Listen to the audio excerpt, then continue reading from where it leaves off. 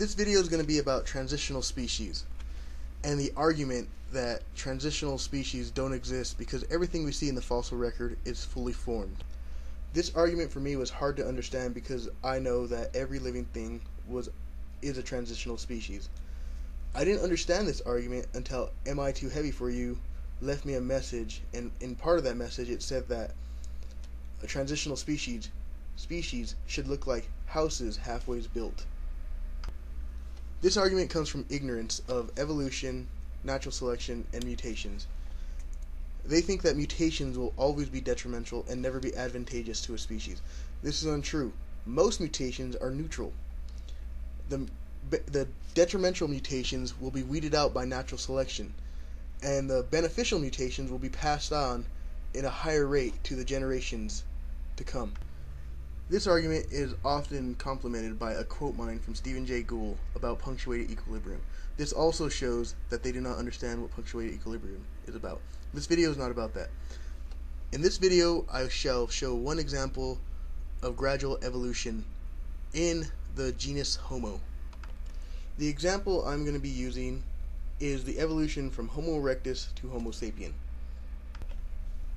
Postcranially, Homo erectus is very similar to a modern Homo sapien. Cranially, they are very different.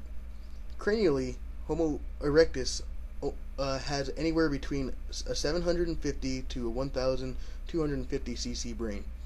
Its skull is flattened on the top and has large brow ridges, the largest of any of the Homo species. It has robust jawline with larger teeth than any other Homo species, but smaller than most of the other hominids before it. Homo sapiens have a 1200 to 1700 cc brain. They have small to no brow ridges at all, and their skull is short and not as projected as Homo erectus. Their jaw is also small and has smaller teeth compared to any other hominid species. It also has a pronounced chin, which is different from any other hominid species before it. Now, as you can see, there is many things that is different cranially from Homo sapien and Homo erectus. How do we reconcile these?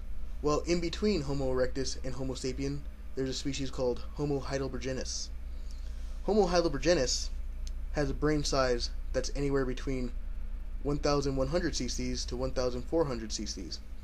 Its skull is higher than Homo erectus, but not as high as modern Homo sapiens. Its face is less projected than Homo erectus, but not as projected as Homo sapiens.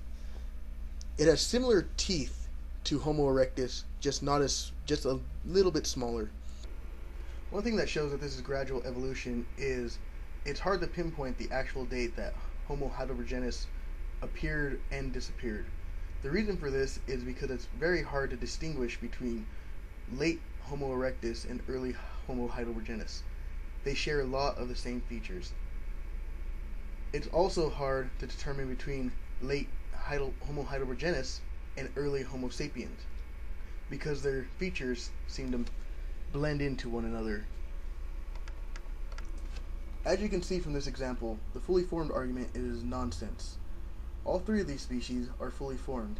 The only difference is the buildup of traits that determines what species they're categorized into.